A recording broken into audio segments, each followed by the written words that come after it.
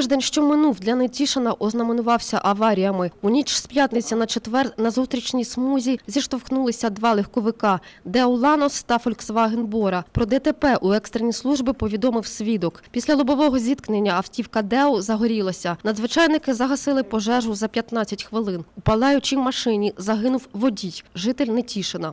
За кермом автомобіля Деоланус перебував 36-річний житель міста Нетішина, військовослужбовець Національної гвардії України. Фольксвагеном керувала славутівчанка, власниця одного з тамтешніх кафе. Поруч з нею на пасажирському місті знаходився барман закладу, 18-річний юнак. Вони теж загинули.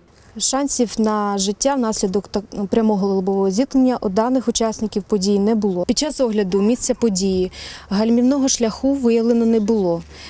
На запитання, чи перебував хтось з учасників дорожньо-транспортної пригоди в стані алкогольного сп'яніння, на це запитання відповість судово-медична експертиза, яка призначена слідчим.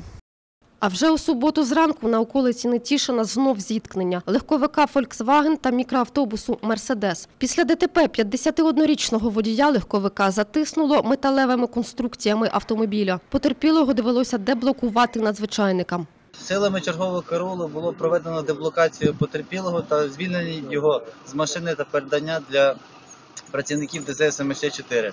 Потерпілий був живий. Згодом медики швидкої доправили потерпілого до лікарні. Наразі правоохоронці встановлюють обставини ДТП. Попередня причина аварії – порушення правил обгону. Світлана Русіна для інформаційного випуску.